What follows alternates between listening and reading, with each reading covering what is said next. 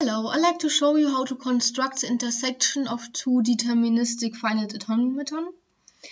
And in case of the language, the intersection means that we want to keep just the words that are in both languages. And in case of the automaton, it means we want to keep all transitions that are in both automaton. And what we do is, of course, we begin with the start state because it's there's one in each automaton. And now we have to, we always have to have a look on what uh, transitions are there in both automatons. So in the first automaton we have an A transition to from Q0 to Q1 and here we have an A transition from Q0 to Q0 and then means we create in our intersection automaton, we create a new state which I name Q01. So the 0 is from the first automaton and uh, the 1 is from the first automaton and the 0 is from the second one. Of course, you can name the state as you like, but I choose that name um, so that it will be easier for you to follow me. And this state, the state that is um, that corresponds to two states in the automatons. Um, this state will only be a final state if both of the states it corresponds to are final states. So here Q1 is the final state, but Q0 is not. So the intersection state will not be a final state. So here we have our A transition. And then let me pick another color. Now let's look at the B. Here we have a state from Q0 to Q0, a transition from Q0 to Q0 with a B, and here from Q0 to Q1 with a B.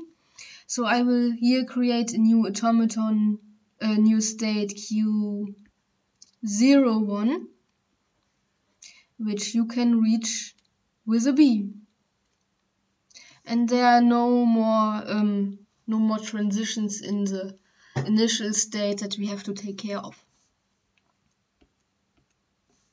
Then when we are, uh, let's go on here, Q01, so we are now here um, and here. And now we want to make another A transition.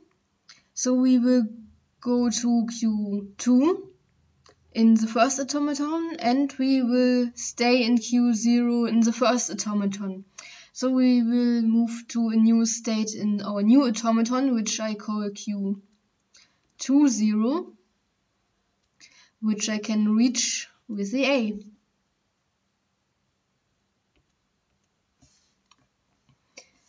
Oh, sorry, I forgot to write the A. And then let's let's go on here in Q0, uh, Q2, Q0. When we are here and we do another A transition, we will in the first automaton we will stay in Q2 and in the second automaton we will stay in Q0. So here we will just get a loop. And well, maybe you can see a pattern arising here. So let me just keep it a little bit shorter. So here, if you, well, if you, if I'm exact, then um, the state will have to be called Q00 because it corresponds to both the initial state in both automatons.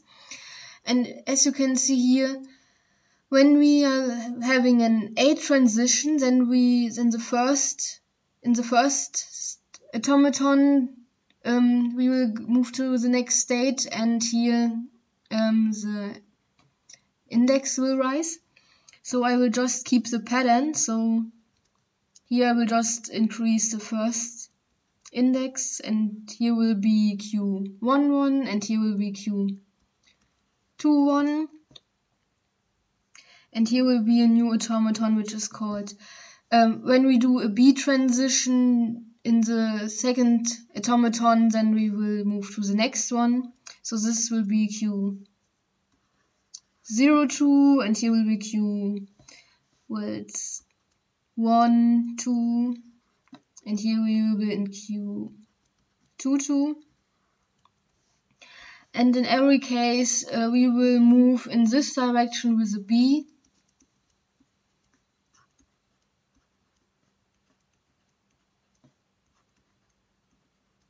And we will move in this direction with an A. So let me just uh, make it a little bit short for you because it will otherwise take quite long to construct the full automaton. So when, when we reach the end, we will just stay where we are. Here we will stay with the A. And here in this state, and you can easily check for it if we are in both Q2 in both automatons, then we will just with either A or B stay in those state and that's how you create the intersection. Oh, um, uh, let me not forget. Um, because of the final state, I told you if in our intersection automaton we a state is a final state, then it has to be a final state in both the corresponding automatons. So here, when we are in both Q1 in the first and in the second automaton, then the state will be a final state. So this will be that one. This will be our only final state and all the others will be not. And here we have our automaton that uh, corresponds to the intersection of our both initial automatons.